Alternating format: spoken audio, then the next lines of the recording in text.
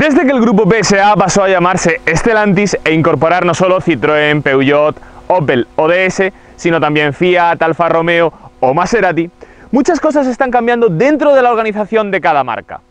Por ejemplo, el acabado más alto del DS7 antes se llamaba Grand Chic y ahora ha pasado a llamarse Rivoli. Otra cosa que ha cambiado es que antes estaba disponible en el configurador de DS el motor diésel Blue HDI de 180 caballos para este DS7 Crossback y a día de hoy ya no está disponible, tan solo están disponibles las unidades que encontremos en stock. Un motor que por cierto, bajo mi punto de vista, como ahora explicaré a lo largo del vídeo, es el más adecuado para este DS7. Le damos las gracias a Automóviles Enma, concesionario oficial Citroën, Peugeot y DS en Alcantarilla, Murcia, por dejarnos probar el coche. Y muy atentos a cuando hablemos del precio de esta unidad, porque está a la venta. Esto es Top Drivers y hoy probamos el DS7 Crossback 2.0 Blue HDI.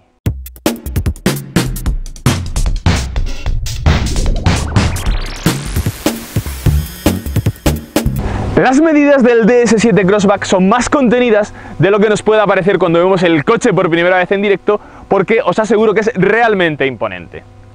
El DS7 mide 4,57 metros de largo, 1,89 de ancho, es decir, es un coche bastante ancho, y 1,62 de alto. Es decir, es un sub que se puede encuadrar tanto en el segmento C como en el segmento D, y no nos equivocaríamos en cualquiera de los dos.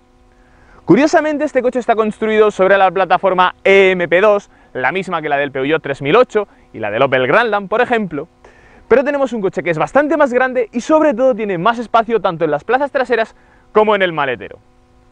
La marca francesa dice que este DS7 es rival directo del BMW X3 y del Audi Q5, así que vamos a ver en el vídeo si se equivocan o no. Por si os preguntáis cómo se llama este color de carrocería, se llama azul encre o en qué. Eh, lo siento, pero es que yo en el colegio era de inglés y no de francés y no sé cómo se pronuncia, pero bueno, en el configurador lo tenéis. La parte delantera está presidida por esta enorme calandra que, si os fijáis, está adornada por muchos rombos, presidida por el logotipo de DS y además, si os fijáis, dentro del logotipo de DS tenemos la cámara porque este coche está equipado con la visión de 360 grados. Bueno, además la calandra va adornada, como podéis ver, por muchos detalles cromados. Pero sin duda lo más trabajado de este coche son las firmas lumínicas, tanto la delantera como la trasera. Y es que los grupos ópticos son un auténtico espectáculo. Fijaos cuando cerramos el coche, cómo no solo se mueven los intermitentes dinámicos, sino que los faros LED, como podéis ver, giran 180 grados, además hacen una especie de baile muy llamativo. Fijaos la firma lumínica tan bonita que tiene este coche. Como os digo, es lo más trabajado sin duda del DS7 Crossback. Si nos vamos por el lateral tenemos estas llantas que son las de serie, las de 18 pulgadas, aunque en opción podríamos tener hasta llantas de 20 pulgadas.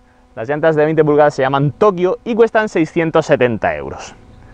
Y como podéis ver también el lateral está adornado por muchos detalles cromados tanto en los marcos de las ventanas como en las barras del techo.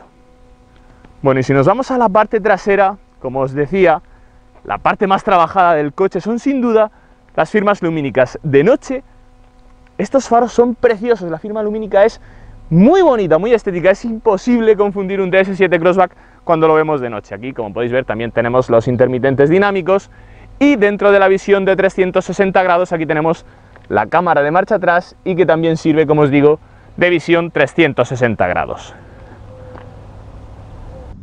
Antes de acceder al interior de este DS7, os quiero comentar que esta unidad cuenta con el pack Rivoli, que por 2.100 euros incluye la visión nocturna, que os aseguro que es un auténtico espectáculo cuando vamos conduciendo de noche porque vemos todos los obstáculos que nos vayan saliendo en la carretera en el cuadro de instrumentos. Además contamos con la visión de 360 grados con todas estas cámaras que os he ido enseñando. También cuenta con la climatización independiente en las plazas traseras y la conducción semiautónoma Connected Pilot. Todo esto viene incluido con el pack Rivoli, así que si vais a comprar el DS7 es el primer pack que debéis incluir. Bueno, esta unidad cuenta en su interior con el acabado ópera, como demuestra esta placa que veis aquí. ¿Y este acabado ópera qué incluye? Pues bueno, para empezar, estos asientos en cuero napa que son de una calidad espectacular, completamente bordados a mano, el cuero como podéis ver es perforado, son ventilados, calefactados, tienen función masaje y memorias os aseguro que son uno de los mejores asientos que hay a día de hoy en el mercado. Espectaculares. Pero es que con este interior ópera además incluye el techo en negro, esto es un opcional, no viene de serie. Y por ejemplo las puertas, fijaos si este coche tiene calidad en su terminación, que incluso el hueco de la puerta viene forrado en moqueta. También tenemos aquí cuero en toda la puerta. Un auténtico espectáculo este interior ópera. Vamos a acceder ahora al interior y os voy a arrancar el coche para que veáis que este DS7 es un auténtico ejercicio de diseño. Bueno, para arrancar el coche tenemos que pisar el freno y pulsar este botón que pone Start Stop aquí en la consola central, así arrancamos el coche y lo primero que hace es desplegarse este reloj analógico que la verdad es que es uno de los muchísimos detalles de diseño que tiene este DS7. El cuadro de instrumentos es completamente digital de 12 pulgadas, uno de los más grandes que he visto hasta la fecha, y me gusta mucho porque es completamente configurable con este selector que tenemos en la mano izquierda del volante. Aquí podéis ver toda la cantidad de gráficos que podemos seleccionar, todos de mucha calidad y muy fáciles de leer. El volante, como podéis ver, está achatado por la parte inferior y me llama mucho la atención que al igual que en el DS3 que probamos hace pocas semanas en el canal, tenemos las levas ancladas a la columna de dirección, es decir, no son solidarias con el volante. Continuamos por la consola central. Tenemos una pantalla completamente táctil de 12 pulgadas. Aquí, como podéis ver, tenemos todos los botones de acceso directo a los diferentes menús y me llama mucho la atención que, como podéis ver, aquí tenemos esta ruleta que sirve para subir o bajar el volumen del sistema de sonido. Continuamos por la consola central. Tenemos el mando selector de la caja de cambios automática EAT8 y aquí tenemos el mando selector también de los modos de conducción. Tenemos cuatro. Eco, Confort, Normal y Sport. Ahora os los explicaré en la prueba de conducción. También me gusta mucho que tenemos aquí los mandos para subir o bajar las ventanillas, al igual que en el DS3 Crossback. Esto es un detalle de diseño que a mí me gusta, en vez de tenerlos aquí como suele ser habitual en las puertas, pues bueno, DS los ha cambiado y así pues bueno, tenemos un coche diferente, no es lo mismo que estamos habituados a probar todos los días. Y otra cosa que quería resaltar antes de terminar con el interior es que tenemos muchos huecos para dejar objetos. Aquí tenemos un hueco muy grande, aquí también podemos dejar dos latas de bebida, por ejemplo, y fijaos incluso en el hueco tan grande que tenemos aquí. El interior del DS7 está a la altura de cualquier marca premium alemana que os podáis imaginar, os lo aseguro. Como os decía al principio del vídeo, dentro de todos los cambios que está viendo dentro de la gama DS, uno de ellos es que ha dejado de estar disponible en su configurador este motor diésel de 180 caballos. Porque la marca francesa quiere dar prioridad a la venta de los híbridos enchufables que, evidentemente, también son versiones muy eficientes. Pero este diésel de 180 caballos, bajo mi punto de vista, es un motor mucho más adecuado para mover al DS7 que el diésel de 130 caballos que sí que siguen manteniéndolo en su oferta mecánica. Como podéis ver, es un motor que está colocado en posición transversal, son 2000 centímetros cúbicos, el motor está construido en hierro, la culata es de aluminio y desarrolla 177 caballos en concreto y 400 Nm de par. Esta es la cifra que más delata que este motor es el más adecuado para este DS7. El motor desarrolla 177 caballos gracias a que cuenta con inyección directa, turbo e intercooler. Y como ahora vais a ver en la prueba de conducción, es el motor, bajo mi punto de vista, más adecuado para este DS7. El precio del DS7 Crossback parte, según el configurador web de DS, de los 38.500 euros con el motor diésel de 130 caballos y el acabado de acceso que se llama So Chic. Si nos vamos a esta unidad con el motor diésel de 180 caballos, cambio automático EAT8, y acabado Grand Chic o Rivoli, como lo queráis llamar, nos iríamos a los 50.000 euros con todos los extras que ya os he comentado que lleva esta unidad. En Automóviles Emma, el concesionario donde nos lo han dejado, tienen este coche a la venta con tan solo 33.000 kilómetros en su odómetro, a un precio, si lo financias con ellos, de 33.700 euros. Así que si estáis interesados en este o en cualquier otro coche de la gama DS, no dudéis en poneros en contacto con nosotros a través de las redes sociales. Las plazas traseras de este DS7 puedo decir sin temor a equivocarme que son las mejores que me he encontrado en un sub de este segmento. Bueno, para empezar, como no tenemos un diseño coupé, no tenemos caída de techo y por lo tanto el acceso es mucho más sencillo. Os aseguro que es muy cómodo entrar a las plazas traseras. Además, fijaos en la cantidad de espacio que tengo para las piernas, para meter los pies debajo del asiento. Como no tenemos túnel de transmisión, la plaza central es mucho más utilizable. Además, como podéis ver, es muy amplia. Y como os decía antes, como contamos con el pack Rivoli, tenemos la opción, esto es un opcional, no viene de serie, el climatizador completamente independiente para las plazas traseras con doble salida de aire. Y hay una cosa más que os quiero enseñar porque la verdad es que me ha encantado. Si os fijáis aquí en la puerta, aparte del selector del elevalunas, tenemos otro botón que sirve para regular la inclinación del asiento. Fijaos que podemos regularlo en inclinación para así ir completamente a nuestro gusto. Es son unas plazas traseras auténticamente de lujo y de las mejores que yo me he encontrado en un sub de segmento D. El maletero cuenta con apertura automática, viene de serie con este acabado Grand Chic y me llama la atención que tenemos 555 litros de capacidad. Como os he dicho también al principio del vídeo, a pesar de que está construido sobre la misma plataforma que el Peugeot 3008 y que el Opel Grandland, aquí tenemos más capacidad de maletero. Y otro de los detalles que más me gusta es que tenemos aquí estos tiradores para batir los respaldos de los asientos traseros sin necesidad de tener que acceder a ellos. Un maletero muy utilizable y con una boca de carga muy grande, como es típico en cualquier.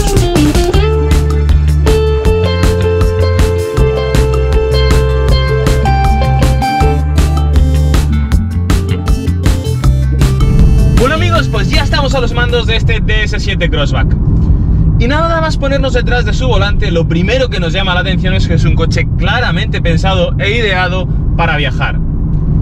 Y si es un coche que está ideado para viajar porque a día de hoy los subs claramente han sustituido a las berlinas tradicionales con este fin, ¿qué mejor que un motor diésel de 180 caballos eficiente con el que poder hacer muchos kilómetros y tener un consumo muy bajo? Como os llevo diciendo a lo largo de todo el vídeo, este motor es mucho más adecuado para el DS7 Crossback que el de 130 caballos, porque tenemos un coche que pesa 1610 kilos. Y con este peso, los 130 caballos se nos pueden quedar bastante justos a la hora de cargar el coche con toda la familia y todo el equipaje. Y este motor diésel de 180 caballos es mucho más adecuado. Además, es más barato cuando estaba a la venta o disponible en el configurador de DS que los híbridos enchufables que también son motores muy eficientes y que tienen mucha más potencia incluso que este diésel de 180 caballos, pero que también tienen eh, la contraprestación de que son coches más caros de adquirir.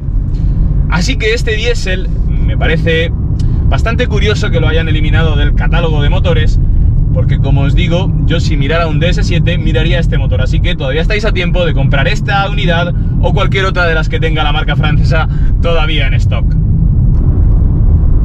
Bueno, ¿y por qué os digo que me gusta tanto este motor?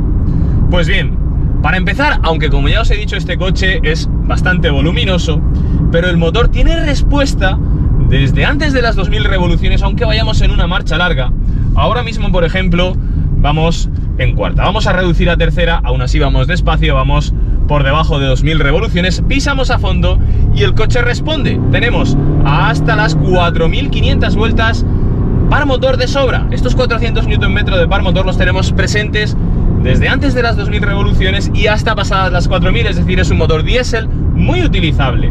No vamos a tener, por lo tanto, problemas para adelantar en ninguna circunstancia. Y a todo esto hay que unir que el consumo de este motor, consumo medio, que hemos podido obtener a lo largo de la prueba, es de 7 litros a los 100 kilómetros.